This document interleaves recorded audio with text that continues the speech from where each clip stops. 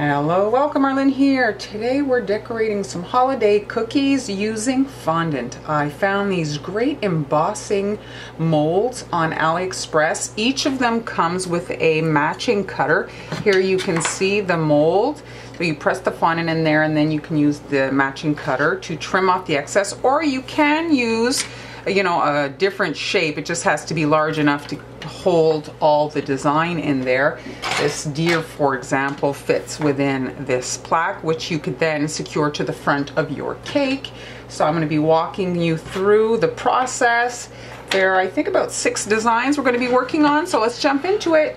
Wilton has these boxes, so there's four colors in there.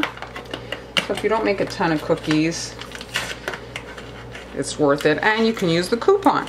So this box is $20, so $6 off. And there are the colors, all quite nice for Christmas. The yellow you could dust with a gold powder to make it a little bit more festive. So I'm starting off with this Christmas tree.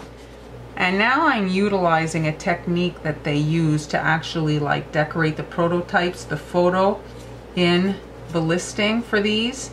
And so they've pushed in colored fondant into the ornament holes, which are deeper in than the actual tree. And so I'm using my boo boo stick and removing the excess red fondant, okay? So there it is. And then when I roll the green on top, well, I'll have these really brightly colored ornaments. So I'm just pressing that in there. All right. We're to flip it over to check it out. Let's look. And you can see there, they filled in those holes. What's really important to consider is that once you start rolling, if this does not work out, it jumps or you have to re-roll, well, that red will compromise the green. It's not like when you paint, whereas, you know, if you screw up, well, you just re-roll, no problem. But now we've introduced a second color, so it's, um, we've got a variable in there so that if it does mess up, well, I'm gonna have these little red particles in my font, my green fondant, which I probably do not want, right? Now another thing is if I add cornstarch to this, well, I'm going to reduce the stickiness of my corns of this green to those red dots. I need those to fuse together. I need the green dot, the green to stick to that, um, to those red dots. This is a tricky one. So many things to think about. So now I'm adding cornstarch, okay, because I need the fondant to release from the mold, but if now I've added cornstarch, well, will those red dots adhere to my green? So this is what my brain is. I'm wondering if I should add a little bit of water to these red dots. Oh my God, the dilemma. So I'm just gonna put it down here and let's see. Roll up, roll down. Let's see how it's gonna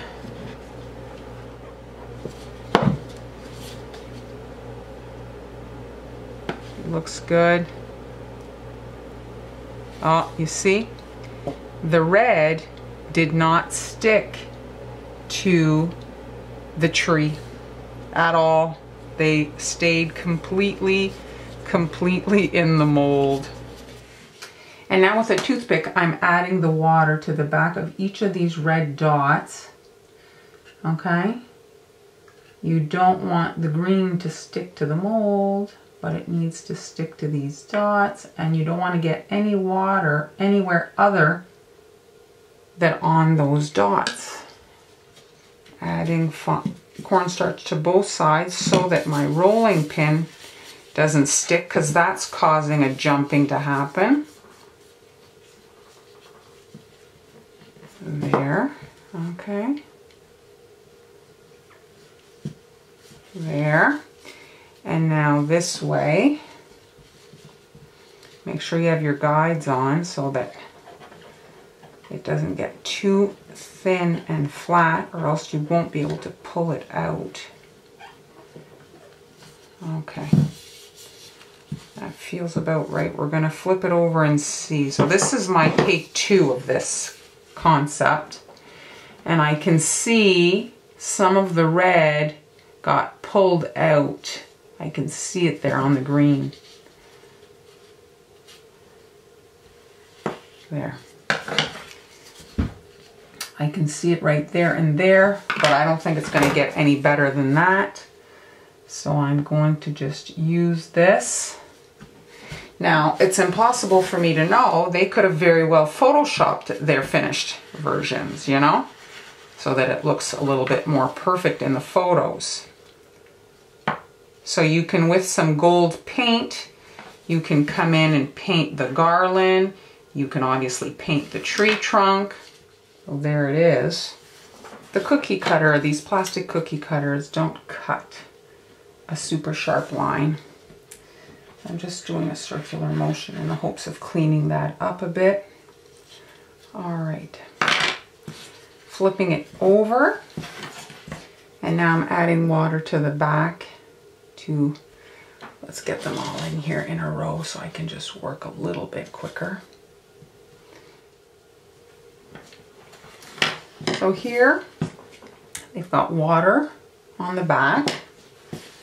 And these cookies were cut with the same cutter. And you can see there, I can kind of align. I can kind of see. And I'm just putting the cookie on the wet fondant so that it sticks. And then I can flip it over. You see here it's kind of low. I'm just going to lift it and readjust. There. You have to be very careful though because the fresh fondant is so soft. So there are the Christmas tree versions. I have to say, pretty cute. So you want to get it to attach to the surface of the cookie. The rolling portion of the tutorial is very redundant for all of the designs. It's the same thing. You're taking a clump of fondant, you're adding cornstarch to both sides so that the fondant doesn't stick to the mold and doesn't stick to the rolling pin. You need a rolling pin with guides so that your fondant is the same thickness. You don't want to have too thin or too thick or bumpy.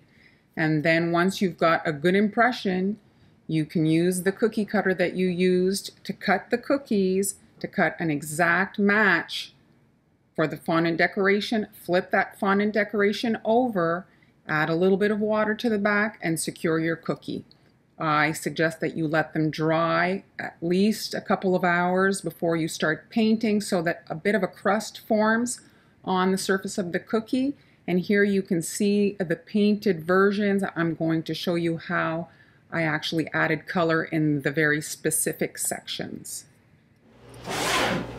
Here is the deer in white, as you can see here, and here it is airbrushed. And obviously you can see the color really brings it to life. And if I had done it all in one color and fondant, well, it would be nice, but just kind of a little one-dimensional. So now we're gonna airbrush, and I'm gonna be showing you how I created the, the shield so that I could protect the, you know, different sections from getting color. So I want to get the brown just in one specific area. I don't want the brown on his scarf, for example. So let's here I have a wax crayon. I've taken off the white wrapper on it so that I can use it sideways. I've got the embossing mold and a piece of white paper. I've laid the wax crayon sideways and I'm basically creating a impression of the mold so that I can then create some shields. I'm going to use my X-Acto to trim out color by color. So there will be a shield for the scarf area, for the you know portions of the ears, the pink inside the ears. So you can create a shield for whatever color section you want. You can make the shields for multiple colors as long as they're not right next to each other you can kind of pinpoint your airbrushing And so that's the first step to this section color quickly with your airbrush. Here I'm cutting out the hat portion of the Santa and I have a, a sharp blade, an X-Acto, a pen blade, and I'm cutting on a healing board so I don't damage my work surface and I'm just carefully cutting section by section so that I can use the shield and really get very detailed in my painting. I don't have to um, worry about getting red everywhere and I can work much faster than if I was painting with a paintbrush. And now I'm just holding the paper so that it doesn't fly up. And I'm just lightly misting my brown area. So you can hit the paper so that you don't get a lot of pigment on the fondant. Kind of bounces off the paper and onto, I don't know if you can see. And now I'm painting the little kind of areas that have like sort of furish type detail.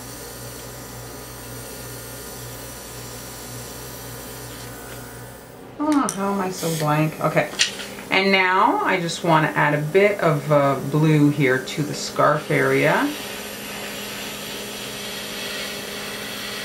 There. And those ears. So a light misting of the pink overall. And then I'm very close right here to darken up the corner. And there is the little deer. Don't really have to wait after you've airbrushed. The color goes on pretty dry if you don't oversaturate the design. As you can see here, I did like just blush coloring and it's it's really enough.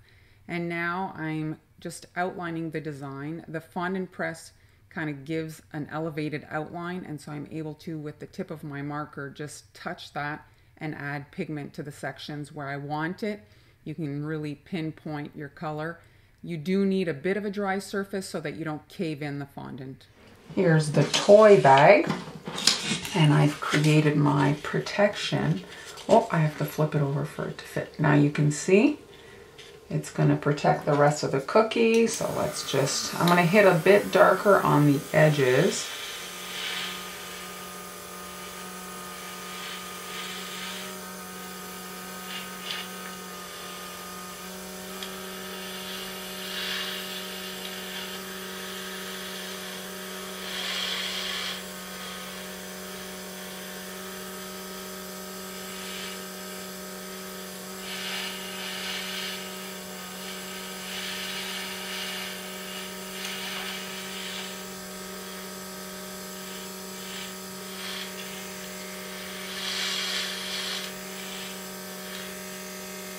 And now the gifts.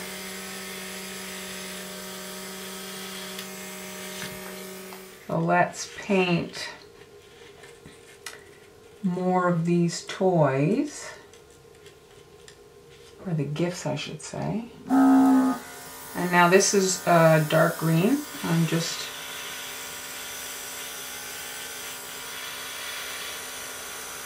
filling that, you can see. And now some gold the last few bits on the gifts here.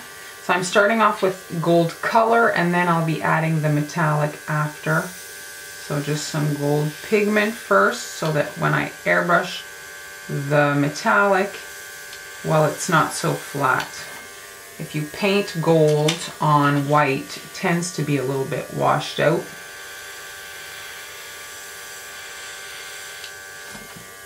All right, so here are the two gift versions, okay?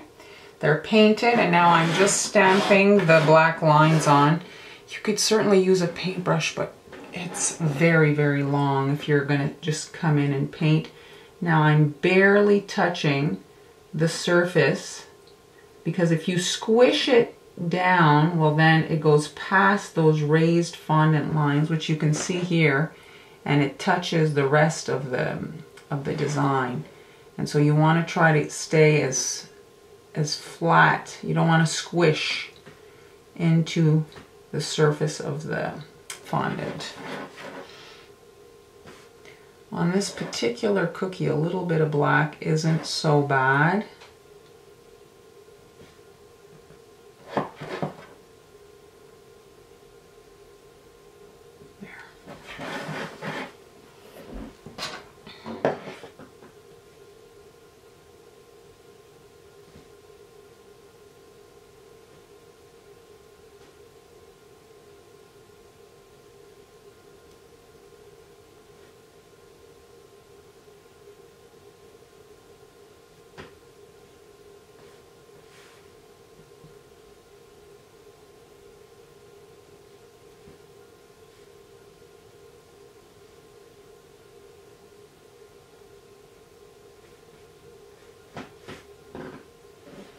There.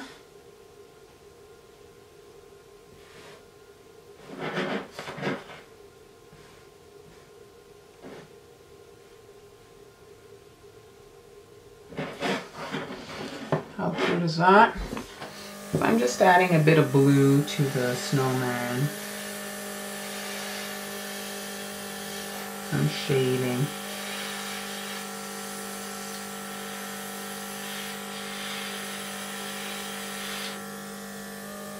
I think I'm gonna put some pearls in the edge of the hat there. I'm trying to figure out what to do. And now I'm just adding some water to the trim on the hat here to make it sticky. So the ribbon on the hat, a generous amount of water. Not like you're not dumping a bucket, but you know, you want it to be sticky. And I'm going, and because it's kind of like indented, it will not um, pop out. So now I've got these little pearls and I'm just pouring them in there. And thanks to the design, you see, let's just remove the excess. I'm gonna fix my, you see, makes a cute little trim on that hat. Here are my completed cookies. You can see all the bright colors in the very specific sections. It just brings the cookies to life. Uh, fondant, we don't see a whole lot of painted fondant because it tends to get very sticky when you start painting it. But with the airbrush, it pretty much goes on dry. So it's a completely different um, end result. It doesn't look kind of goopy and sloppy. It goes on really polished looking and the markers as well. The markers go on relatively dry so you're not overhydrating your fondant. So here's a close-up of the reindeer and the snowman. Here's Santa with his gifts, his ho-ho-ho. Make the sets how you want them. You'll see on the AliExpress shop they have other designs for the holidays. So I hope you enjoyed that. Try something new. And if you have any questions, don't hesitate to ask. I'll see you in the next cookie tutorial.